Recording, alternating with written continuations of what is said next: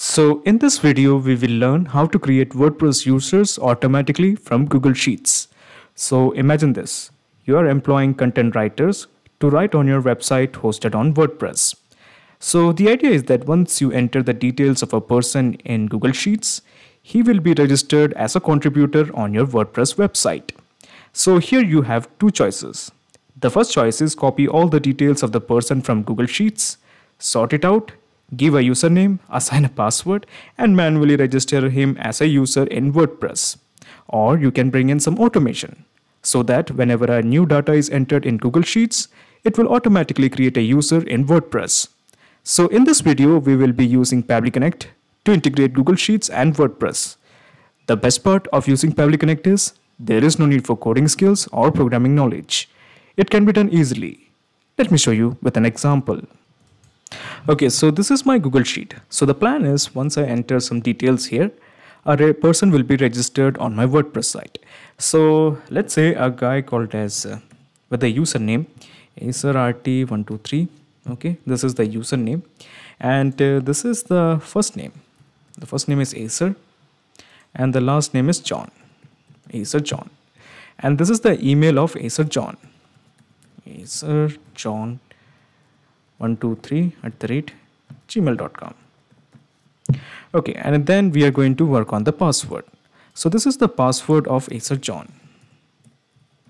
Bunch of random characters and bunch of random numbers. Okay so the password is ready. So basically the idea is that once the database of a user is created here it will be reflected as a user in WordPress. So let me just take you to WordPress.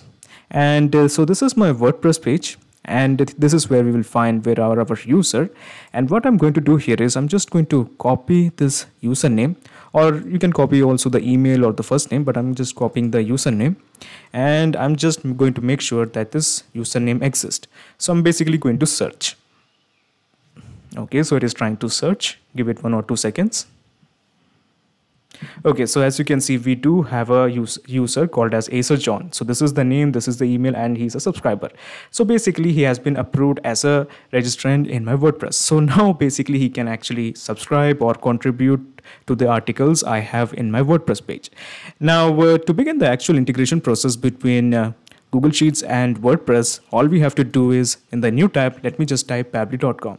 So here you have two questions. Why are we working with pabbly.com? And the second one is why are we working on incognito mode? Well, the first answer is uh, the reason we are working with uh, pabbly.com is we have an app called as Pabbly Connect that will integrate Google Sheets and WordPress. Now the second question is why are we working on incognito mode? Well, the answer is see, uh, we are uh, using Google Sheets and if you have multiple gmail accounts there will be problem of authentication. Basically it is always advisable if you have multiple gmail accounts and you are working with google sheets to avoid authentication issues it is always always advisable. Just work on incognito mode. Okay so this is the website of pabbly.com let me just click on sign in. Okay so basically this is the dashboard of pabbly connect. As you can see i already have made an account in pabbly connect you can also build your own free account in just two minutes. So let me just scroll down and here you will find connect. Just click on access now.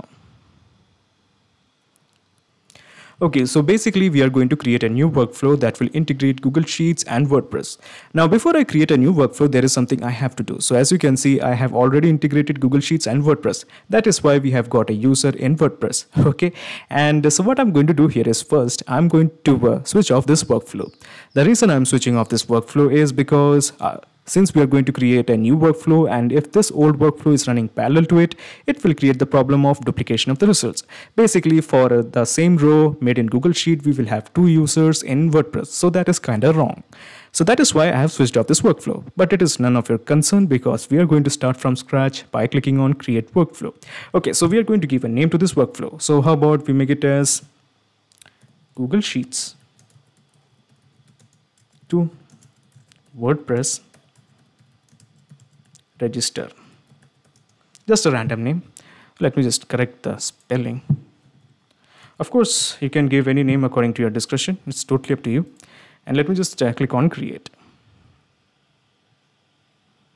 Okay, so when you click on create, a window appears in front of you. This is called as the trigger window. So basically, we are going to create a new workflow. Now, if you want to clone this workflow, the template of this workflow is available as a link in the description box. So in the Choose app, how about we make it as Google Sheets? Because we want to send the data from Google Sheets. That is why. Google Sheets. Okay, this is the one we want. And in the trigger event, how about we make it as new spreadsheet row? Okay, so new spreadsheet row is a trigger event. So your obvious question is what is a trigger event? Trigger is basically a if statement. It asks a question, if this condition is met, what should be done? For example, if a new spreadsheet row is made in Google Sheet, then what action should be taken by the system? Now at this point, we only have one trigger event that is new spreadsheet row. Now in case if you want more trigger events, all you have to do is just approach the help section. So when you click on the help section, you will be directed to Pabbly forums. So here in Pabbly forums, you can make a request that you want so and so trigger events or action events. So let it load. So here you can just make a request that you want this action or trigger event. So let me just take you back to Pabbly Connect. So basically the gist is we are just trying to integrate Google Sheets to Pabbly Connect. So this is an old uh, Google Sheet okay that is a use uh, i'm sorry this is the old one. Okay register user. And as you can see we have already entered some entries. And basically we have already integrated this google sheet. So i'm just going to cancel this one. Let me just click on leave. And uh, so we are basically going to work with a new google sheet. So as you can see i have already entered the names of the column the username the first name the last name email and the password. Now as you can see the password is the last data entry column. Okay i repeat again e that is the password column is the last data entry column remember this this is actually pretty important so this is the google sheet so what i'm going to do here is i'm just going to click on add on when you click on add-on, you will find Pabbly Connect Webhooks. Now, Pabbly Connect Webhook is already installed as an add-on in my Google Sheet. Now, in your case, Pabbly Connect Webhooks might not have been installed yet. So first of all, just click on Get Add-ons.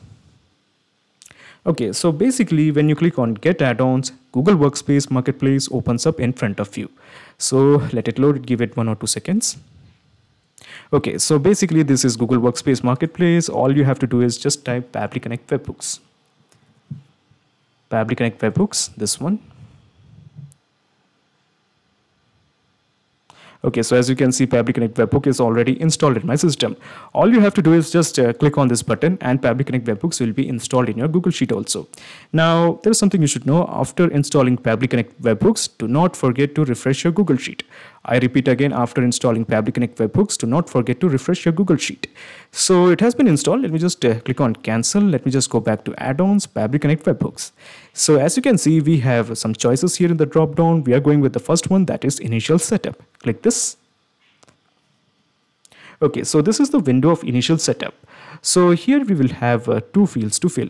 The one is the webhook URL as well as the second one is the trigger column. Let it load. Okay, so this is the webhook URL column and this is the trigger column. So basically we already know the trigger column. Okay, if I didn't explain the trigger column, well, the last data entry column is the trigger column. As I mentioned before, I clearly mentioned it before, the last data entry column in our case was column E, the password column. So that is why I'm going to mention the trigger column as column E. Excellent. Now coming to the webhook URL. So basically this is my webhook URL. I'm just going to copy this. Okay, the webhook URL has been copied and let me just paste it here. Okay, so the webhook URL has been copied. We have entered the trigger column. Let me just click on submit. Okay, so there is something else you have to do. Go back to add-ons Pabbly Connect webhooks and just click on send on event. So basically it will ensure that whenever column E is filled, doesn't matter which horizontal row it is, it will keep sending on the data. And Pabbly Connect will ensure that it captures the data because uh, it is already showing it is waiting for the webhook response. So if this is not uh, revolving, it is not ready for accepting the data. So basically you will have to click on this button so that it will start rotating. Okay, so basically it means that it is waiting for the data. Let's check, let's make some entry. So how about um, we make some entry, Elon Bill 123. So this is the username Elon Bill 123 and 123T and uh, Musky Elon. This is the first name. No, how about we go with a good name? Um, how about uh, Dash, Dashi, and then we have the last name as Elon, Dash Elon, and this is the email. Dashi elon. 12 at the rate gmail.com and how about we enter the last thing? That is the password okay so this is the password. Bunch of random characters and bunch of random numbers. Okay so basically we have filled all the details. We have entered the username we have entered the first name the last name the email and the password.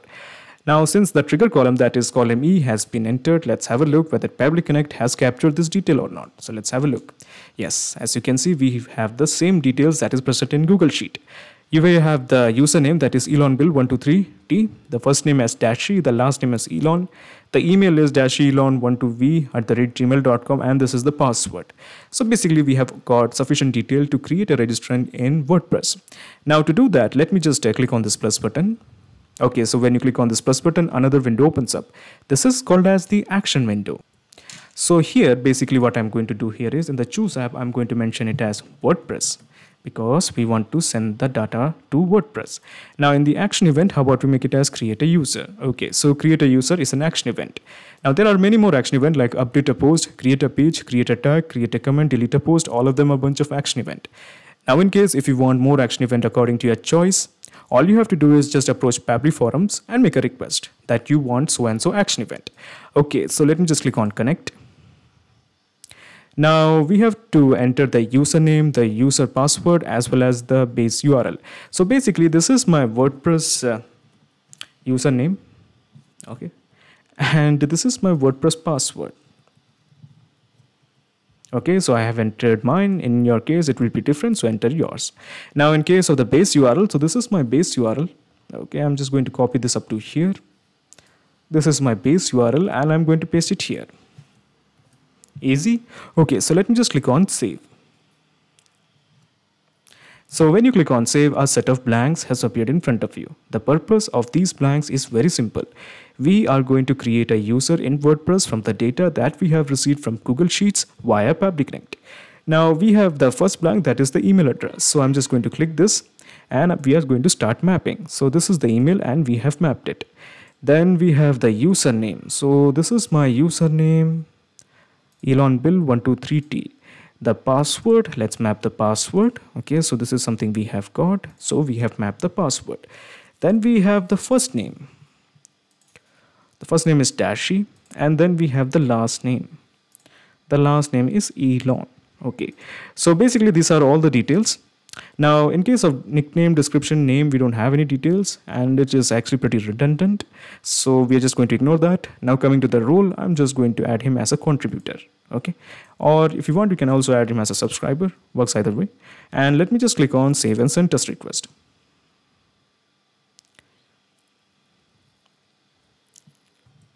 Okay so let's have a look. Uh, do we have the user so what was the name of the user? The user was Elon Bill. Okay, so I'm just going to copy the name. Basically, we are just going to search if this user is added or not. So I'm just going to copy this and remove this and paste it here. Okay, so let's check we do have a Elon Bill 123 at the rate Elon Bill 123T or not.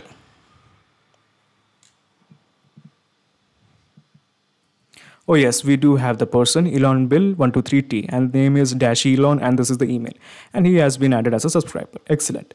So the presence of uh, this uh, person in uh, WordPress shows that we have successfully integrated Google Sheets and WordPress with help of Pabbly Connect.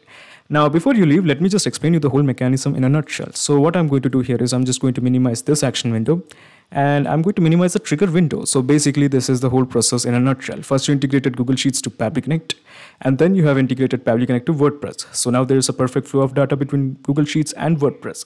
Excellent.